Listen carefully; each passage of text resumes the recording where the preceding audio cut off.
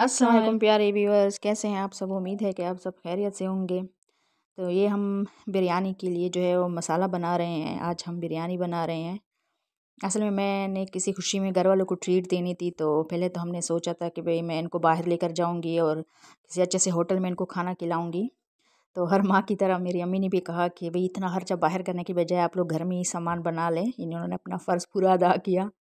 तो हमने कहा चलो ठीक है हम घर में ही सामान मंगा लेते हैं। तो फिर हम ये बिरयानी भी बना रहे हैं। ये उनके लिए हमने मसाला बना लिया और ये देखो ये चावल जो है वो उबल रहे हैं। चावल उबाल रहे हैं हम इसके साथ। तो और भी हमने इसके साथ सामान वगैरह जो था वो मंगाया है बाहर से कुछ। मैंने कहा चलो तो ये देखिए ज़बरदस्त सी बिरयानी जो है वो बन गई है। यानी हमने बिरयानी बनाई है तो ये सारा ख़र्चा वगैरह जो था वो मैंने किया है। ये मेरी सिस्टर ने सैलड वगैरह घर में ही बना लिया सारा खुद इसकी कटिंग की। तो बिरयानी जो है वो बहुत ज़बरदस्त बनाई ये भाभी ने बनाई और ये देखो ये आयत, सबसे पहले आयत बैठी है बिरयानी खाने के लिए और ये आ गया मिट्ठू भी बिरयानी खाने के लिए, ये भी हाज़िर हो गया है। मेरा मिट्टू चावल मैकरूनी बहुत शौक से खाता है ये हमने तिक्का मंगाया है बाहर से।